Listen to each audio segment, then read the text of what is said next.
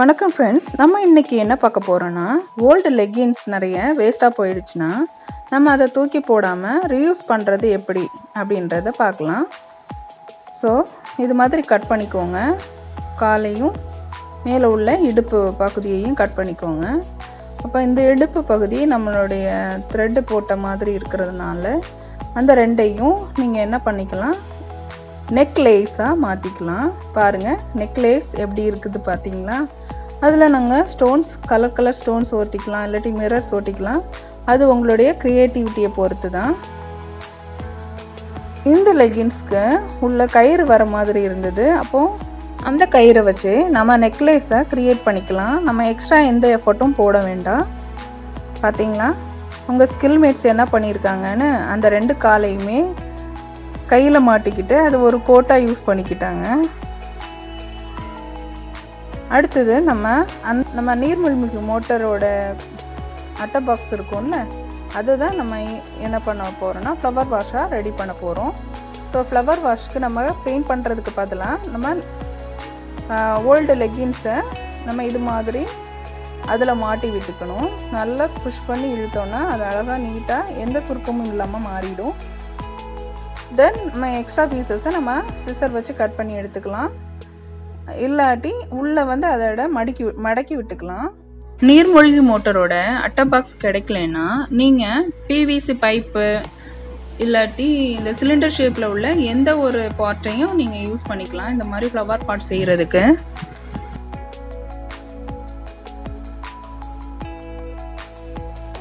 இப்போ flower pot ready ஆயிடுச்சு.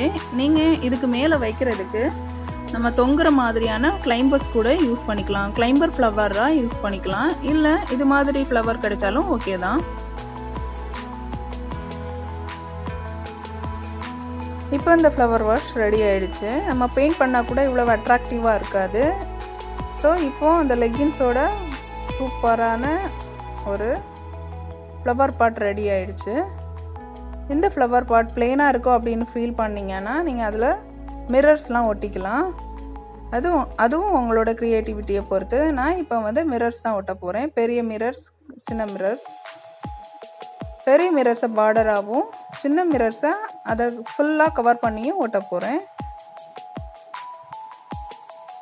So இன்னும் இது பழசு அப்படின்ற எஃபெக்ட் இல்லாமல் இது கொஞ்சம் ஷைனிங்காக இருக்கும். இதை யூஸ் பண்ணி நீங்கள் க்ளூகன் கூட யூஸ் பண்ணி நீங்கள் அந்த மிரர்ஸை ஒட்டிக்கலாம். பர்மனண்ட்டாக இருக்கும். ஃபெவிகால்ஸும் யூஸ் பண்ணிக்கலாம். ரெண்டுமே ஒர்த்து தான். உங்கள்கிட்ட எது இருக்குதோ அதை யூஸ் பண்ணிக்கோங்க.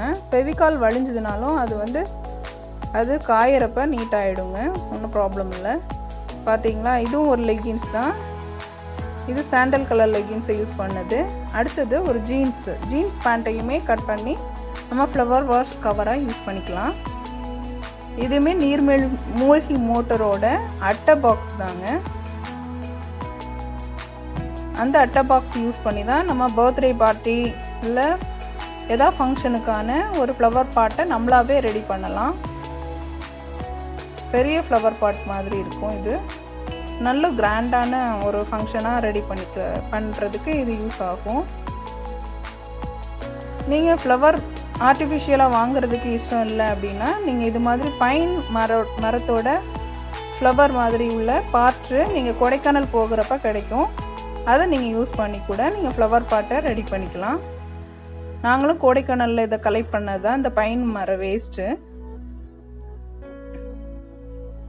அடுத்தது நாங்கள் க்ரியேட் பண்ண லேஸ் நெக்லேஸ் எப்படி இருக்குது பார்த்தீங்களா ஸோ இந்த ரெண்டுமே நம்ம வேஸ்ட் லெகின்ஸில் யூஸ் பண்ணதாங்க. தேங்க்ஸ் ஃபார் வாட்சிங் ட்ரை பண்ணுங்கள் எல்லோரும்.